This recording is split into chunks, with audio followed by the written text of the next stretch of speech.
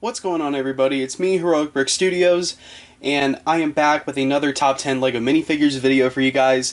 Now, I think the last top 10 video I did was the top 10 LEGO Marvel villains. So, today I wanted to do the top 10 LEGO Marvel heroes. Now, Marvel has some of like the coolest superheroes out there and some of the most popular characters in pop culture right now, and that's thanks to mostly the MCU and obviously, you know, the X-Men have their own cinematic universe. Uh, Fantastic Four, not so much right now. Um, I do hope that that will change eventually, and uh, pretty much, you know, uh, Lego has released dozens and dozens of Lego Marvel minifigures, and a lot of them have been heroes. Some of them have been alternate variants, some have been uh, movie versions, comic versions, whatever. So I decided to take those countless minifigures and condense them down into my own personal top 10 list. So if you guys have a different top 10 than me, that's perfectly fine. You know, I don't care if you have your own opinion, but let me know down in the comments what your favorite LEGO Marvel superhero minifigure is. So, uh, yeah, I think without further ado, let's get right into this top 10 list.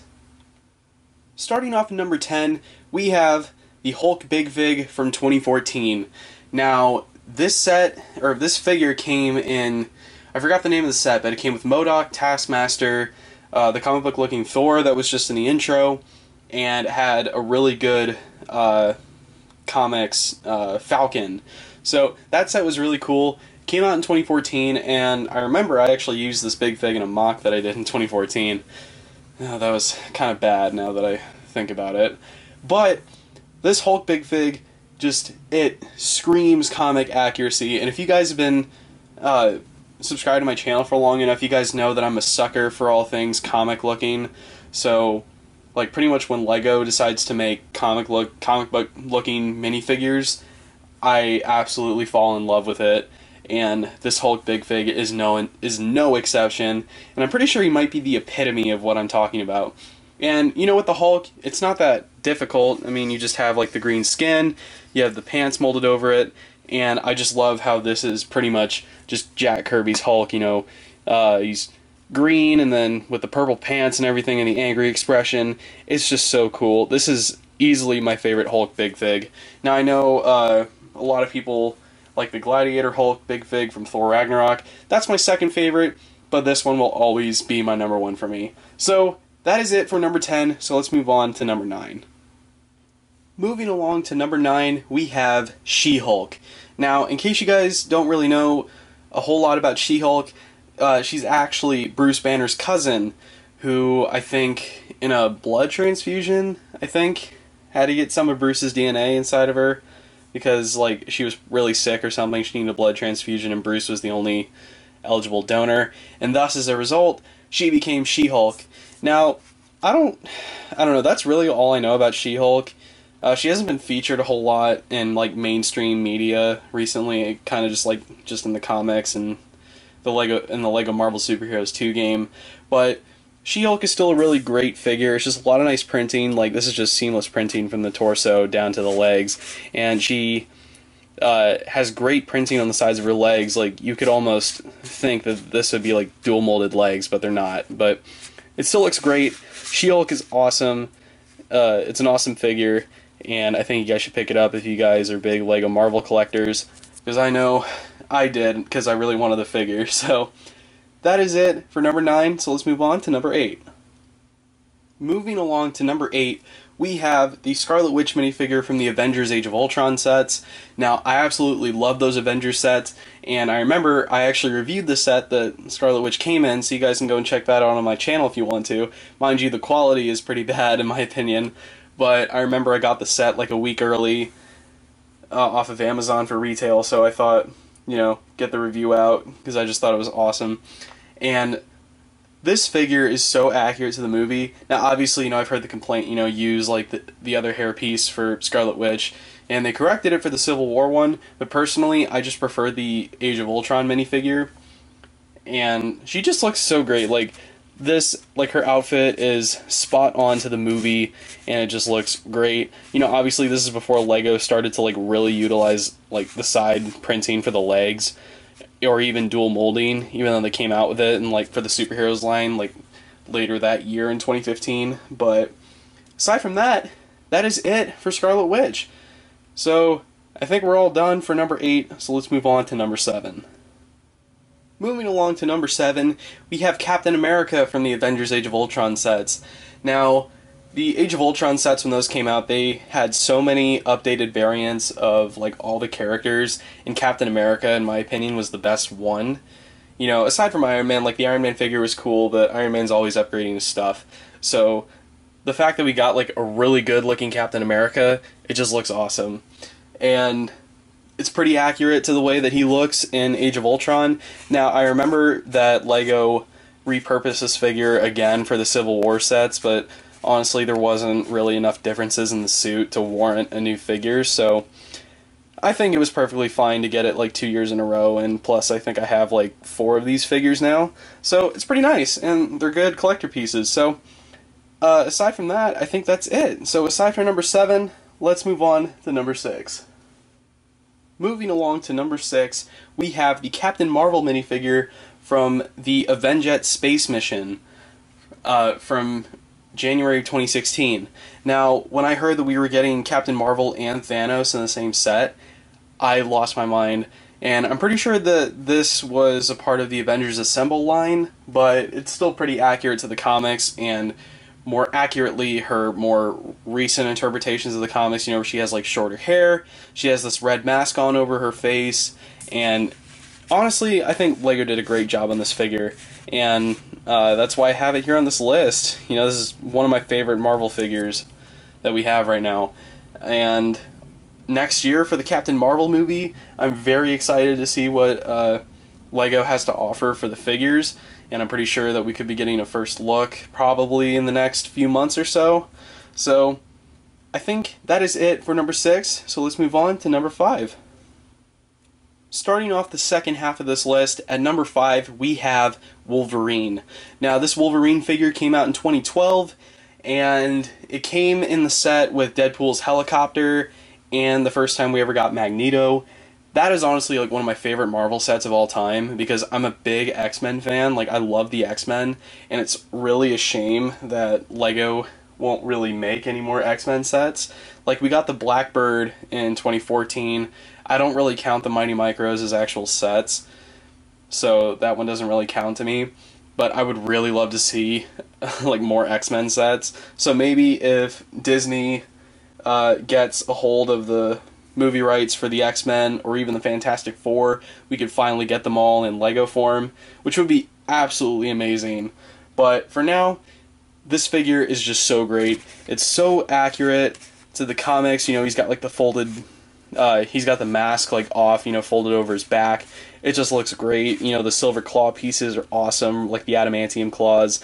The face is perfect. The hair is perfect. Pretty much everything about this figure is perfect to me and I prefer this one over the 2014 one. You know, it was like the yellow and brown because personally, the yellow and blue, like 90s style kind of Jim Lee art looking one, will always be my favorite. So that is it for number five. So let's move on to number four. At number four, we have Ant Man. Now, this is the Ant Man minifigure from the first Ant Man set back in 2015. Now, for some reason, I just I prefer this one over the Ant Man and the Wasp one because I don't know. I really like the first Ant Man movie, and I guess I just have like you know more uh, fond memories like of around that summer. You know, like I really enjoyed BrickFair 2015, and I remember I saw this movie with my buddy Ross, Michael, and GF, and I think just getting the set in general was just really exciting for me. You know, I was really excited for this set when I first saw the pictures and the fact that you know we were actually getting a Lego Ant Man was just mind blowing to me. So that's why I have Ant Man so high on this list. He has just a lot of printing. He's really cool. He's a great figure, and you know I just love the silver and the red. I just love all the extra details on this figure. So that is it for number four. So let's move on to number three.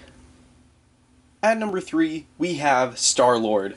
Now, this Star Lord figure came back in 2014, and he was actually in the cheapest Guardians of the Galaxy set.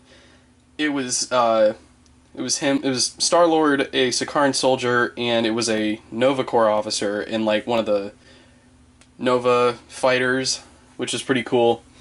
The set was great in my opinion, and I absolutely love Guardians of the Galaxy. It's easily in my top three favorite MCU movies, and I also just have a lot of fond memories of the first Guardians of the Galaxy. But this figure is so good in my opinion. It's just like the details like the long coat going down to the legs. This is the first time that we got like the Star Lord uh, helmet mold and then the his blasters. Then here on the back, you know, with his backpack, we saw like he had the orb in there. That's what that shape is. And this set overall was cool, and the figure was just so perfect in my opinion. But that is it for number three. So let's move on to number two.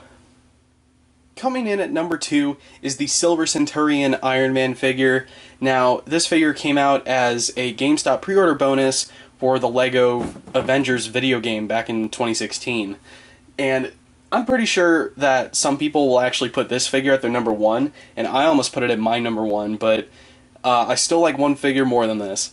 Iron Man is a cool character and you know he has all the cool suits and stuff but this is obviously like the best suit that lego has made for iron man it's just like all the printing and all the details that went into this are just fantastic and i'm so so in love with this figure so that's pretty much all i really have to say like i know it's kind of short but um yeah this is easily like my favorite lego iron man figure last year i did the top 10 uh, Lego Iron Man minifigures, and this was my number one for good reason.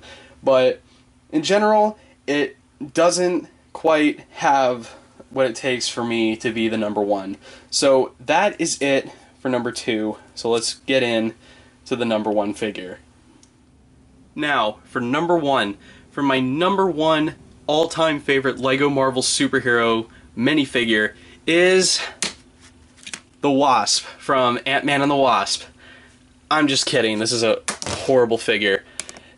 This is my all-time favorite Lego Marvel Hero minifigure, and that is Spider-Man from the Spider-Man Homecoming sets. Now, Spider-Man Homecoming completely blew me away. Like, it is my favorite. Uh, it's my favorite Spider-Man movie, even more than Spider-Man 2, and I don't know why. I just I loved Spider-Man Homecoming, and I was really uh, I was really glad to see him again in Infinity War despite that ending. Uh, not really spoilers at this point because everybody's made a meme of it. But this figure is just perfect in my opinion. You know, you got the arm printing, you got the overmolded legs, uh, you got printing like on the fronts of the legs, and the Spider-Man suit is just so awesome and so unique. And Lego took it and absolutely hit it out of the ballpark with this figure and that's why he's at my number one. So that is it for this top 10 list. So let's get into the closing of this video. Alright everybody, that's going to do it for the video. So thank you guys so much for watching. Uh, if you guys enjoyed this video, then make sure you leave a like. It really helps the channel. And if you guys like this kind of content, you know, you guys can go down below. You can hit the subscribe button, maybe even ring the notification bell so you guys never miss a video. And uh, for the foreseeable future, for now, this is probably going to be my last Marvel themed video. I kind of want to get back into some DC stuff. And starting next week, I will probably start doing that. So, uh, it'd be really cool, and I have a nice video planned. I have another one planned after that. And then I have a couple more reviews that I think I want to do and then I'm actually going away on a trip for a little while, and then uh, I'm going to showcase my updated Hall of Justice MOC. Yeah, I know, third year in a row, but uh, I do have more stuff planned. You guys just got to st uh, stick with me here.